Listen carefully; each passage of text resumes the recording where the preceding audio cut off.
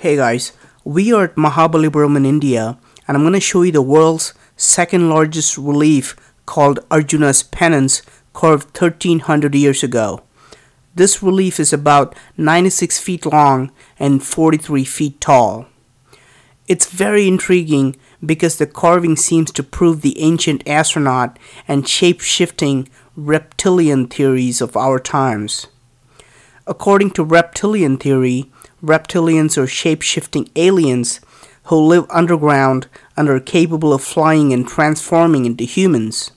Sounds like some guy created this bizarre concept in 2001 and is the most ridiculous thing you ever heard, right? How about everything I just said about the reptilian theory has been carved accurately 1300 years ago?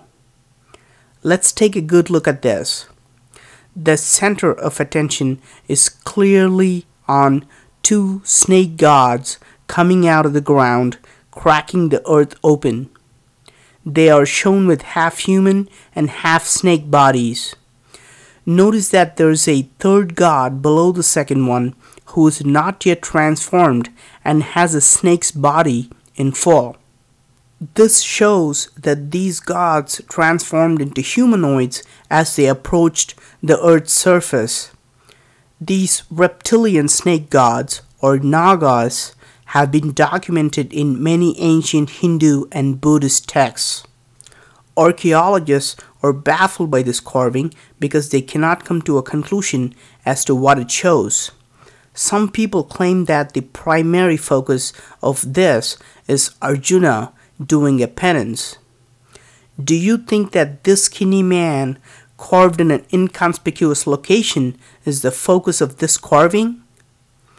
Even to a layman, it seems like the rock has been split into two equal halves and the primary focus seems to be on these figures that are coming out of the ground and taking off vertically into the sky if the carving does in fact show that these reptilians are blasting off like modern day rockets, there are a lot of other features that support this theory.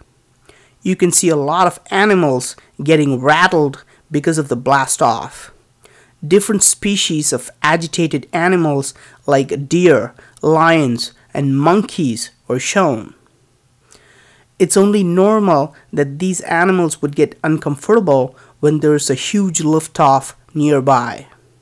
The only exception to this is a brave male elephant standing only to protect the scared baby elephants between his legs. Now look at the hand signal on almost every human being. Their hands are all pointing at a 45 degree angle upwards and directly towards the center figures that are taking off. To be honest, I've been to more than two dozen ancient sites in India and I've never seen this hand gesture anywhere else. It just doesn't make any sense. Note that on the top, on either side, there are two men with large helmets giving the same hand signal. With all the commotion going on, there is an elderly man who's calmly observing the astronauts taking off.